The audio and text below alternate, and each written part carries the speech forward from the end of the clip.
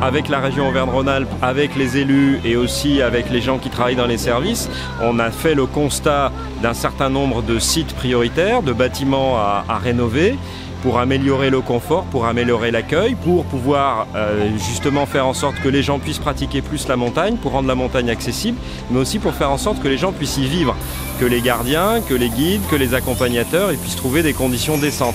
Et la région, elle nous aide dans notre plan de rénovation de ces hébergements sur les sites qu'on a choisis à la fois sur euh, les aspects techniques, mais aussi sur le choix de la programmation et de ce que l'on veut faire tous ensemble de ces refuges. Grâce aux aides de la région Auvergne-Rhône-Alpes sur euh, l'exemple du refuge à la dent parachée, on a pu améliorer le confort, le confort pour les usagers, plus de place, tout en gardant euh, l'idée d'un hébergement collectif de montagne où on partage les espaces.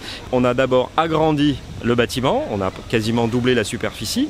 On a euh, changé toute l'organisation des dortoirs. On a une salle commune qui est plus spacieuse, plus agréable. On a fait des ouvertures pour euh, faire rentrer la lumière. On a équipé le bâtiment de sanitaires, de douches, donc tout un système de production d'énergie mixte, à la fois avec une pico centrale, mais aussi des panneaux qui sont soit des panneaux voltaïques, soit des panneaux solaires thermiques, et, tout un système, bien sûr, toute une machinerie qui fait fonctionner ce bâtiment.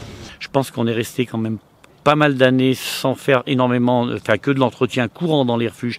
Et aujourd'hui, il nécessitait un, gros coup de peinture. Il était plus que nécessaire d'avoir pour nous euh, de l'énergie de façon à chauffer le refuge, pouvoir y mettre de l'eau toute l'année, des douches toute l'année et, euh, et un certain confort. Pendant 34 ans, j'ai dormi sur le canapé de ma cuisine.